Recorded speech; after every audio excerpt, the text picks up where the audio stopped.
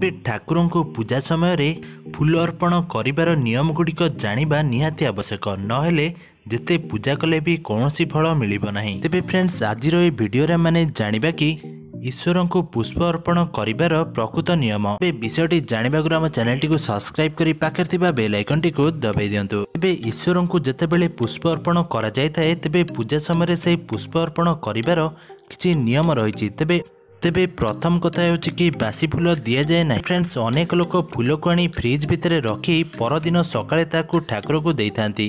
କିନ୍ତୁ ତାହା କରିବା ସମ୍ପୂର୍ଣ୍ଣ ଭାବରେ ଭୁଲ ଅଟେ। ତେବେ ପଦ୍ମ ଫୁଲ ପାଞ୍ଚ ଦିନ ଅଁଳା ପତ୍ର ଦୁଇ ଦିନ ମାଳତୀ ଶୁଷ୍କ କିନ୍ତୁ ତାହା ଶୁଦ୍ଧ ଅଟେ। କିନ୍ତୁ ତୁଳସୀ ଏବଂ ବେଲପତ୍ର ସର୍ବଦା ଶୁଦ୍ଧ ଅଟେ। ପଦ୍ମ ଫୁଲକୁ ଆମେ ବାସି କହିବା ନାହିଁ ତାହା କେବଳ ପାଞ୍ଚ ଦିନ ପର୍ଯ୍ୟନ୍ତ। ତେବେ ପାଞ୍ଚ ଦିନରୁ ଯଦି ଆମେ ଅଧିକ ସମୟ ରହୁଛି ତାହେଲେ ଆମେ ତାକୁ ବାସି ବୋଲି କହିଥାଉ।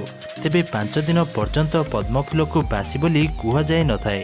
ତାହାକୁ ଧୋଇକରି ବାରମ୍ବାର ଦେବତାଙ୍କୁ ଅର୍ପଣ କରାଯାଇପାରିବ ତେବେ ନିତ୍ୟ ପୂଜାରେ ଫୁଲର ଅଭାବ ହେଲେ ଜଳ ବା ଦୁବ ଦ୍ୱାରା ପୂଜା କରାଯାଇପାରିବ ଭଗବାନ ବିଷ୍ଣୁଙ୍କୁ ପୂଜାରେ ଅକ୍ଷତ ବ୍ୟବହାର କରାଯାଏ ନାହିଁ। କିନ୍ତୁ ଭଗବାନ ବିଷ୍ଣୁଙ୍କ ପୂଜାରେ ଆମେ ଦୁବର ବ୍ୟବହାର କରି ପୂଜା କରିପାରିବା।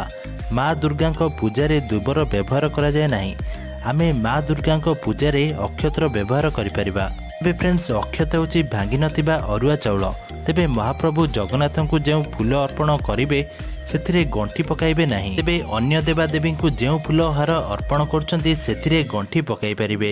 ତେବେ ଦେବତାଙ୍କୁ ଯେତେବେଳେ ଫୁଲ ଅର୍ପଣ କରିବେ ନିଜର ବିଶି ଆଙ୍ଗୁଠିକୁ ସ୍ପର୍ଶ କରିବେ ନାହିଁ। ତେବେ ଫୁଲ ତୋଳିବା ବେଳେ ଫୁଲକୁ କେବେ ହେଲେ ବି ଧୋଇ କରି ଅର୍ପଣ କରିବେ ନାହିଁ। ତେବେ ଦେବତାଙ୍କୁ ସର୍ବଦା ଆପଣମାନେ ଫୁଲରେ ସଜାଇ ରଖିବେ। ଯେପରି ଦେବତା ସୁନ୍ଦର ଦେଖାଉଥିବେ ତେବେ ଦେବତାଙ୍କୁ ଫୁଲ ପିନ୍ଧାଇବା ବେଳେ ଏକ ନିୟମ ହେଉଛି ପ୍ରଥମେ ଦେବତାଙ୍କ ପାଦ ପାଖରେ ଫୁଲ ଦିଆଯାଏ। ତେବେ ଏହାପରେ ଦେବତାଙ୍କ ମସ୍ତକରେ କିମ୍ବା ଗଳାରେ ଆପଣ ପୁଷ୍ପ ଦେଇପାରିବେ। ଯଦି ଆପଣ ବାହାରେ ଜବ୍ କରୁଛନ୍ତି ତେବେ ଆପଣ ବେଲପତ୍ର ଏବଂ ତୁଳସୀ ପତ୍ର ଦ୍ୱାରା ବହୁତ ଶୀଘ୍ର ପୂଜା ସମ୍ପୂର୍ଣ୍ଣ କରିପାରିବେ।